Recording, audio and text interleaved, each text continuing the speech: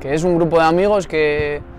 ya hemos coincidido muchos de nosotros con anterioridad, bien sea en selección, en centros de tecnificación y tal, y yo creo que ese buen rollo que tenemos fuera del campo o incluso en la grada, en el vestuario este año con, con el tema del COVID, se refleja en el campo y la verdad que te hace estar muchísimo más a gusto. Pues es un grupo en el que hay mucho, muy buen rollo, hay buenos amigos, hay compañeros, eh, siempre tenemos ganas de venir a entrenar, eh, nos esforzamos mucho en cada entrenamiento, aprendemos cada día una cosa nueva y para mí venir aquí a entrenar todos los días es algo vital porque me encanta el fútbol y es lo que siempre he querido hacer. El bloque más o menos lleva trabajando juntos durante tres años. Es un bloque que está unido, que ha trabajado mucho, que ha trabajado bien y está preparado para este reto.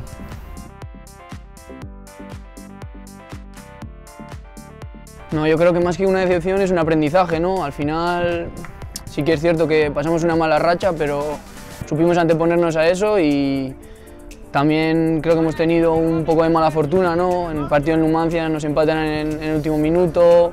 luego contra la Avionesa pues tuvimos un montón de ocasiones que no, que no supimos meter, así que bueno, ahora lo que toca es seguir trabajando y yo estoy convencido de que vamos a cumplir el objetivo. A ver, bien tampoco sentó, porque teníamos equipo como para estar entre los cinco primeros, pero la mala suerte y, pues no estuvo en nuestro lado y en momentos difíciles no supimos estar a la altura y pues hay que pelear por, por no descender. Pues bueno, al fin y al cabo no es algo de un buen plato de un plato de buen gusto, pero yo creo que el equipo está fuerte, estamos muy bien ahora y yo creo que vamos a poder sacar el objetivo que es permanecer en la categoría. Bueno, lo primero, durante, durante todo lo que es el proceso de la cantera, eh, hay dos factores básicos que son la formación de los jugadores, tanto como personas como futbolistas, pero en esta división de honor yo creo que es importantísimo también el factor competir, el factor rendimiento, eh, antes de pasar al fútbol profesional eh, yo creo que es la mayor diferencia. el competir, el dar ese pasito más, lo importante que es el rendimiento. Yo creo que en primer lugar la ilusión, ¿no? que tú vengas con ganas todos los días, con, con, ganas de aprender, con ganas de mejorar y luego el esfuerzo. ¿no? Al final, cada día que entrenas, eh,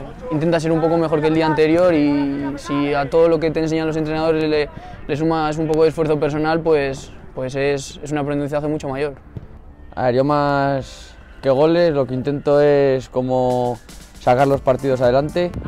porque al final que marque uno que marque otro da igual. Lo importante es sacar los tres puntos